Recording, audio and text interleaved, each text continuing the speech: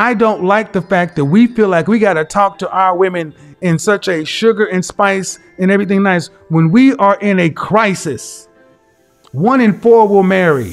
80% of children born out of wedlock. And you're coming to me with the same liberal, weak wristed bullshit.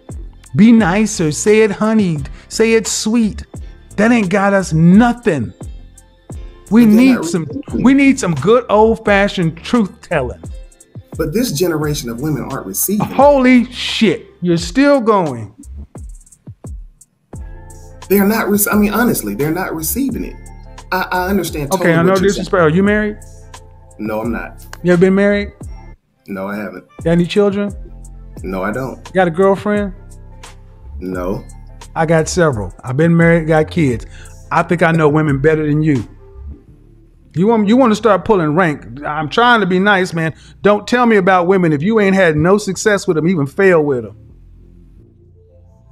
And I need more men to have some steel in their spine and start standing up and sounding more like me instead of like you.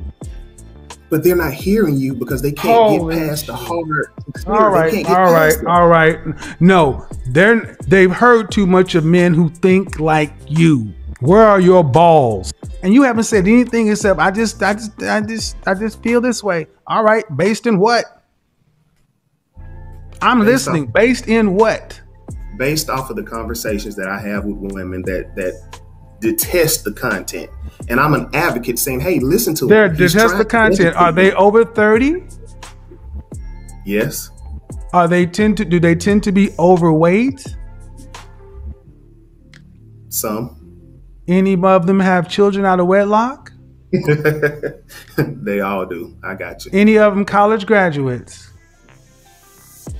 I got you. I, I see where you. And what I don't understand is why, as a man, you're not on this side saying, "Yeah," instead of saying softer. We should be going harder. These very mothers you're talking about, how are their sons doing? Would you want to be stepdaddy to any of them? Sir. Then don't tell me about softening a message when we're failing our next generation of boys. See, this is where it falls on us. Brother, I keep saying the problem is brothers who think like you, you're too weak for this fight. Don't tell me about the generations. See, this is where black women make a valid critique. It is our responsibility not to worry about the motherfucking generation, the price of tea in China, gas, how tight your shoes are, we gotta grab our balls and be fucking men. Even the ones that weren't raised. I wasn't raised this way. You have to make yourself a man worth being followed. And you don't do it with nice words. You do it by grabbing your balls and getting ready to fight. Because if we can't fight our women, how the fuck we gonna fight the world? They don't respect us because our women don't respect us.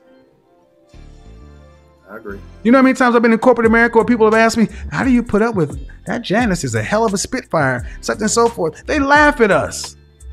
I've been on golf courses and in, in boardrooms. Like, I could never put up with a woman like Brenda.